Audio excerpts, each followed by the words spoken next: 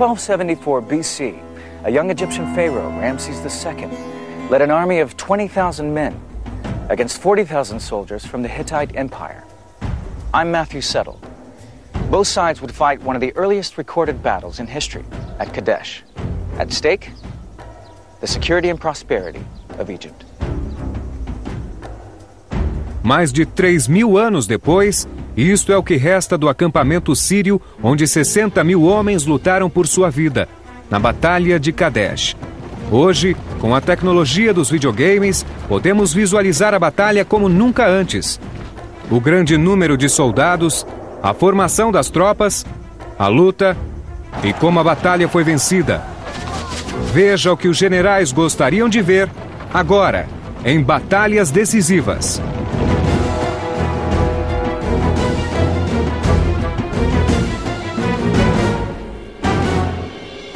Batalhas decisivas.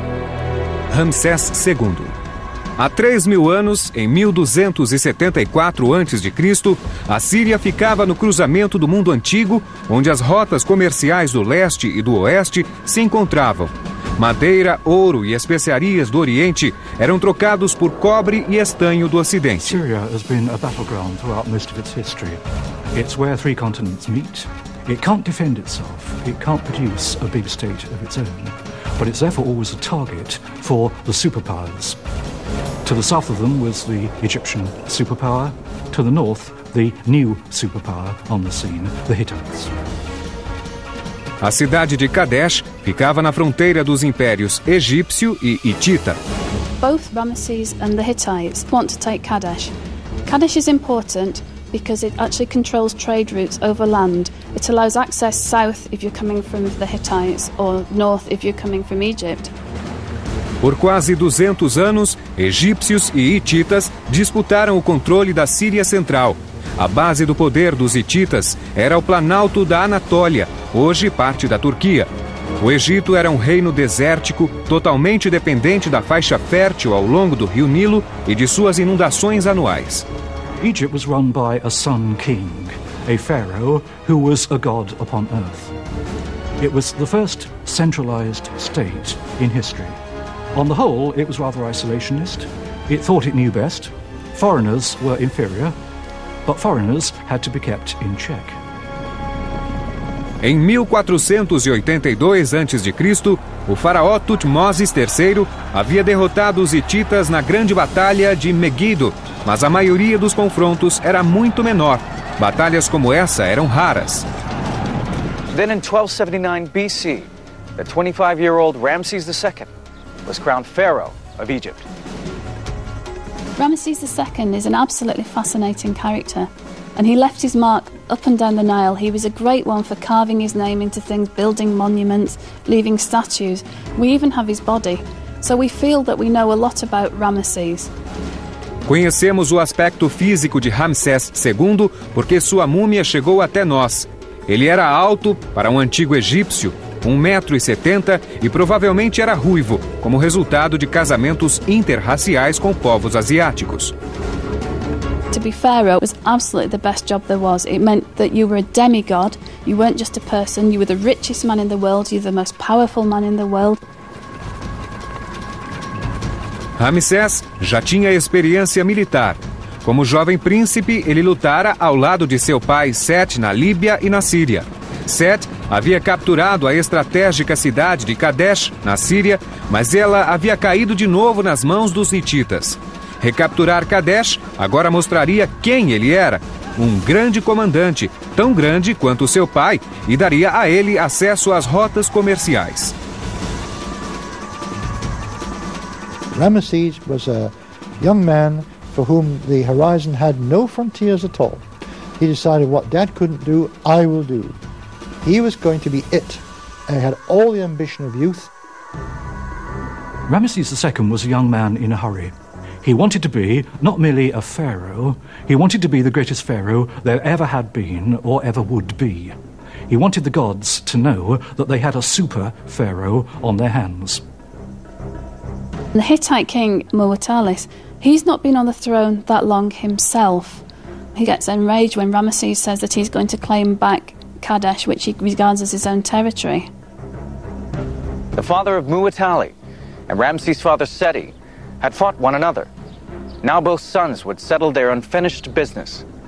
Muwatalli called for troops from all parts of his empire and produced one of the largest armies ever fielded by the Hittites. Eram 2.500 bigas e 40 mil soldados da infantaria. What makes Kadesh, I think, very interesting in that we have two people who think that they can't be beaten coming up against each other. A estratégia de Ramsés não foi surpresa para ninguém. Seus planos para capturar Kadesh eram discutidos abertamente na corte egípcia. If Ramesses II had had prime-time television, he would have gone on it and said, I intend to conquer Kadesh and kick the Hittites out of Syria. I have no doubt that uh, the news that came back from Egypt would also tell Mortalis the character of the young king. This man's only 25, this man thinks he can do anything, this man is impetuous, this man's in a hurry, and Mortalis might even be rubbing his hands saying, right, we know how to deal with this sort of sucker. As batalhas sempre aconteceram durante a primavera e o verão para haver bom suprimento de alimentos ao exército em marcha. The armies of this period were built around infantry and chariots. Charioteers were like modern day fighter pilots, the top guns of their time. To be a chariot driver was a bit like being a test pilot or something like that. It was a job that people wanted. It had prestige, it could lead to great rewards, it attracted all the girls in the neighborhood. Os cocheiros tinham de manter suas bigas e alimentar seus cavalos. A biga era uma arma de assalto formidável, desenhada para irromper nas linhas de infantaria inimigas. Funcionava também como plataforma móvel de tiro e levava um condutor e um arqueiro. As duas armas principais do cocheiro eram a lança, desenhada para trabalhar de perto em meio às tropas inimigas, e o arco composto.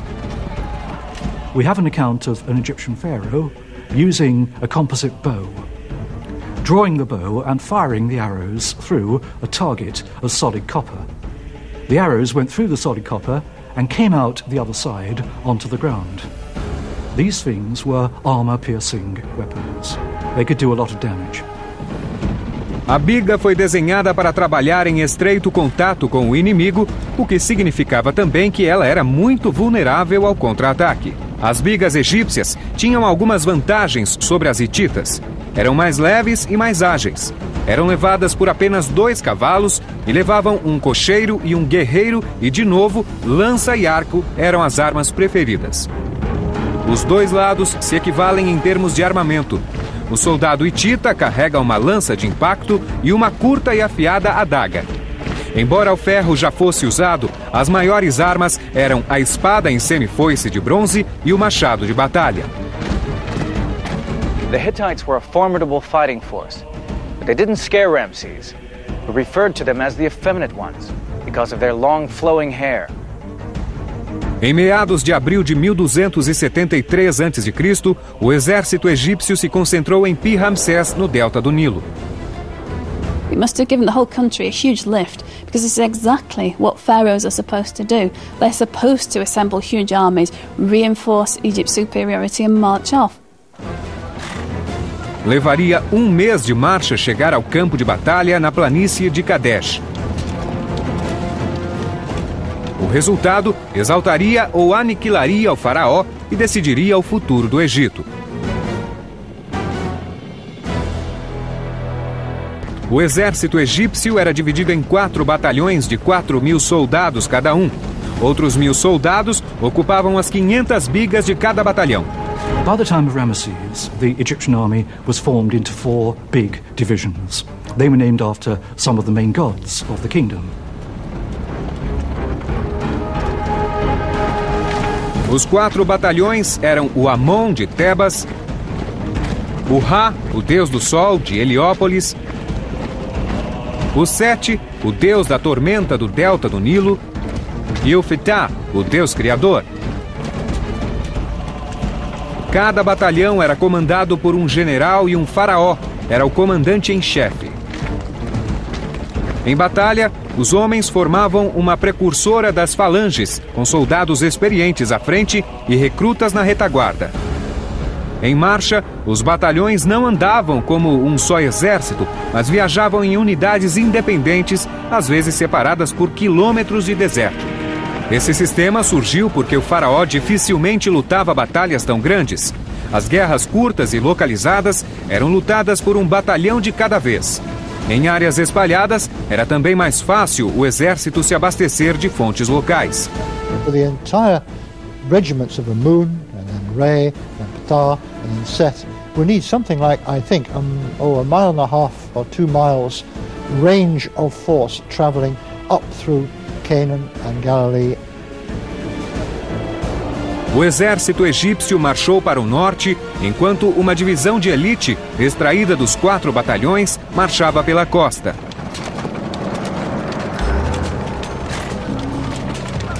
No final de maio, Ramsés estava a um dia de marcha de Kadesh. Ele conduzia o batalhão Amon, que estava muito à frente dos outros. Logo ao amanhecer, ele levantou o acampamento de modo a chegar à cidade ao anoitecer. Embora os reis soubessem que haveria uma batalha, nenhum deles sabia quando ela começaria e nem onde exatamente estava o exército inimigo. That night, Ramses' soldiers found two Bedouin. Under heavy interrogation, they maintained they had not seen the Hittite army. When Ramesses heard that the Hittites were nowhere to be seen, he thought that his wildest dreams had all come true at once. There was Kadesh, he could simply walk into it, take it, and everything would fall into place. Ramses breathed a sigh of relief. He now had time to rest and feed his men and wait for the other corps to catch up. He set up his tent and sat inside on a throne of gold. But Ramses was in for a shock. The next morning, two Hittite scouts were captured. They refused to talk, but after a brutal beating, they were dragged before Ramses and blurted out the truth. The Hittite army was not days away. They were more numerous than the sands of the riverbanks, and they were lying in wait behind a nearby hill.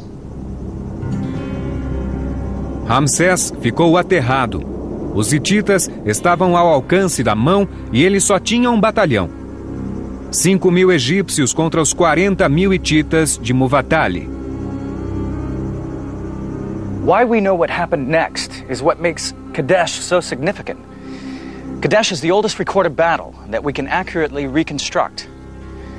A contemporary poem to the Pharaoh contains a narrative of the Kadesh campaign, and the walls here in the Ramesseum at Luxor are covered with scenes from the battle.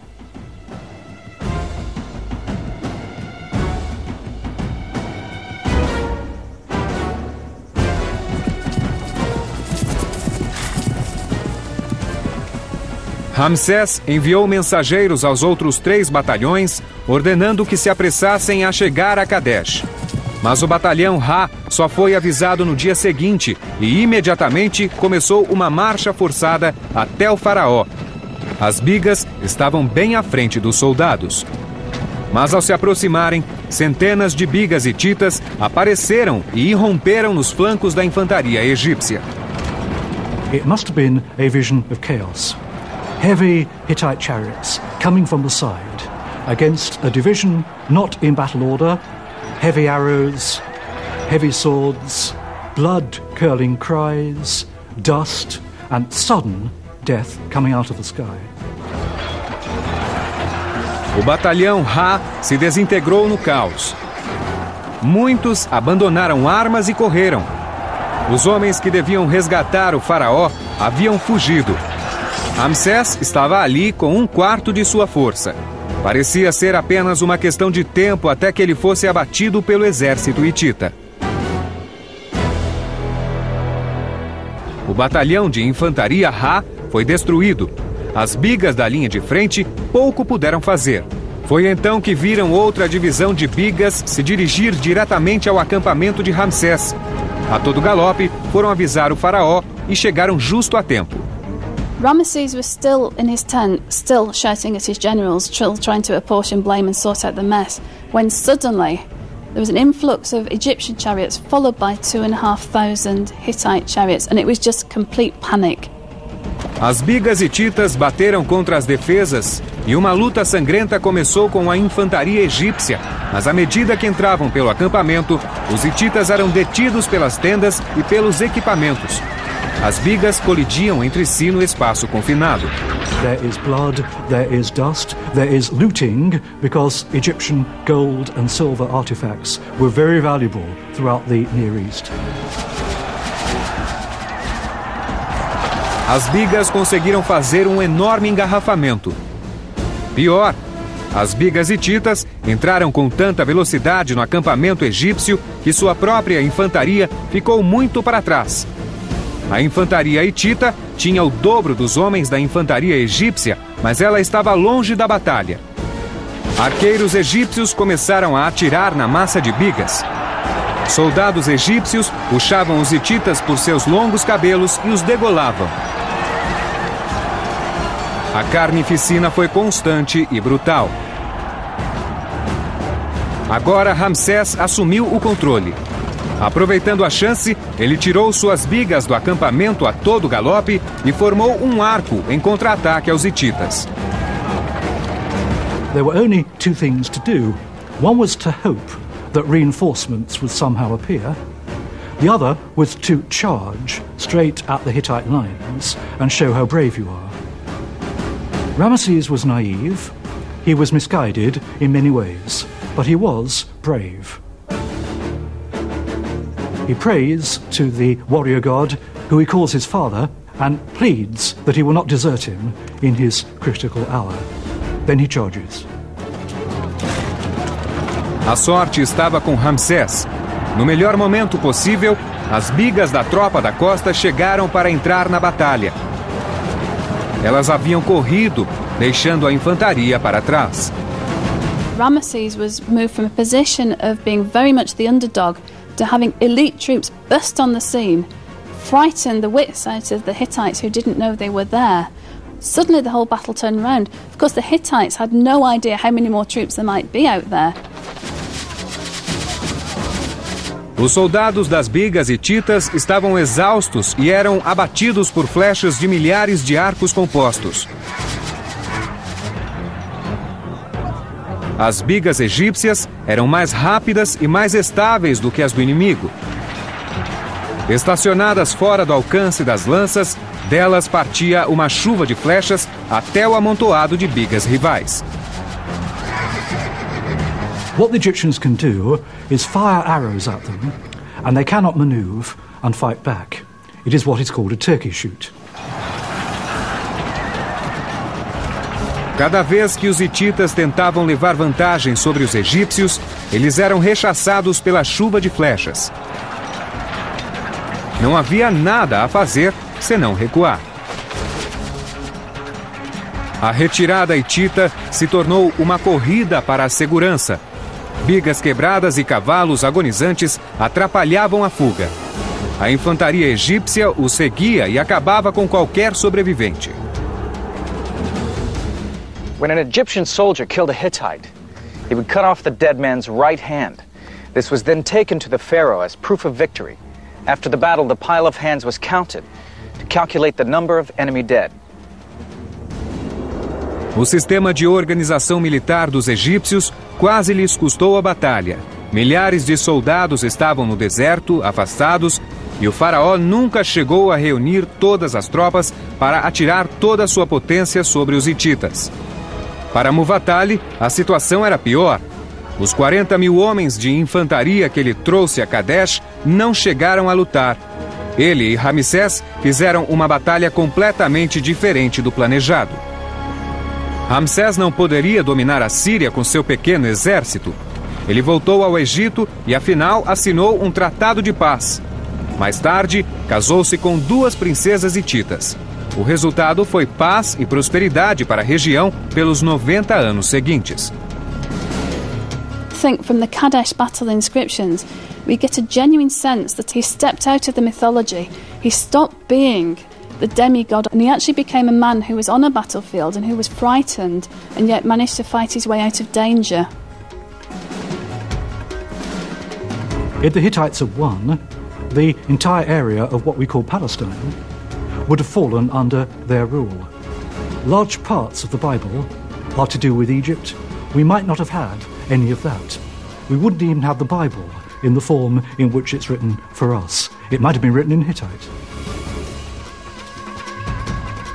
Ramsés reinou por outros 70 anos e deu ao Egito um raro momento de continuidade. Durante sua longa vida, ele teve 200 esposas, 96 filhos e 60 filhas. Sua sorte continuou, porque durante todo o seu reino, o Nilo transbordou regularmente, dando boas colheitas. Mas em 1274 a.C., tudo isso era incerto. Ramsés sabia que a Batalha de Kadesh teve importante papel em seu sucesso. O jovem faraó fez sua reputação, consolidou as fronteiras do Egito e queria que seu povo se lembrasse disso para sempre. He ordered the walls of his temple here at Luxor, the Ramesseum, to be inscribed with scenes from the battle. Today, more than 3,000 years later, people come from all over the world to read the story of Ramses and the Battle of Kadesh.